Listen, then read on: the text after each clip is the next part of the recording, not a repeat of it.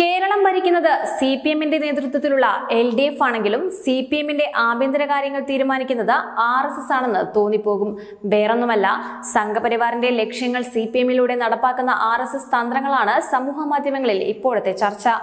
എന്താണോ R S S കേരളത്തിൽ നടപ്പാക്കാൻ ഉദ്ദേശിക്കുന്നത് അത് മുഖ്യശത്രുവായ സി പി എമ്മിനെ കൊണ്ട് തന്നെ ചെയ്യിപ്പിക്കുന്നതാണ് ഇപ്പോൾ കേരളത്തിലെ സ്ഥിതി എന്നാണ് വിമർശനങ്ങളുടെ കാതൽ. കേരളത്തിൽ ആർ എസ് എസിന്റെ അജണ്ടകളൊന്നും നടപ്പിലാക്കാൻ കഴിയില്ലെന്നാണ് സി പി എം അവകാശപ്പെടുന്നത്. എന്നാൽ ആർ എസ് എസുകാർ ആരാണ് മുതലെന്ന് ഇനിയും സി പി എമ്മുകാർക്ക് മനസ്സിലായിട്ടില്ല. ആർ എസ് എസ് നടപ്പാക്കാൻ ഉദ്ദേശിക്കുന്ന പ്രവർത്തനങ്ങൾ സി പി എമ്മിലൂടെ നടപ്പാക്കുന്ന തന്ത്രങ്ങളാണ് ഇന്ന് സമൂഹ മാധ്യമങ്ങളിൽ ചർച്ചയാകുന്നത്. ഒരു തരത്തിൽ ആർ എസ് എസിന്റെ ലക്ഷ്യങ്ങൾ എന്താണെന്ന് സി പി എമ്മിനെ അറിയാത്തത് കൊണ്ടായിരിക്കാം അവർ പല അബദ്ധങ്ങളിലും ചെന്നുപെടുന്നത്. സി പി എമ്മിന് ആർ എസ് എസ് ഒരു ശത്രു ആയിരിക്കാം പക്ഷേ ആർ എസ് എസുകാർക്ക് സി പി എമ്മുകാർ ഒരിക്കലും ശത്രുവല്ല.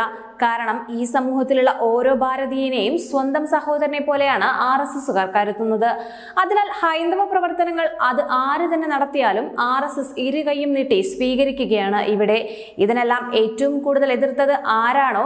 ആ സി പി എമ്മിനെ കൊണ്ട് തന്നെ ആർ എസ് എസ് അജണ്ടകൾ നടപ്പാക്കുന്നതാണ് ഇന്ന് കണ്ടുവരുന്നത്. സമൂഹത്തിലെ എല്ലാ വിഭാഗം ജനങ്ങളെയും ശ്രീകൃഷ്ണ ജയന്തി നടത്താൻ പ്രോത്സാഹിപ്പിക്കണമെന്നതാണ് ആർ എസ് എസിന്റെ ലക്ഷ്യം.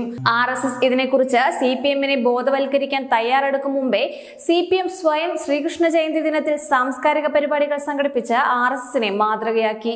രാമായണവും ശ്രീകൃഷ്ണ ഭജനയും എല്ലാം എതിർത്തിരുന്ന സി പി എമ്മിനെ കൊണ്ട് തന്നെ രാമായണ മാസാചരണം നടത്തിച്ചു.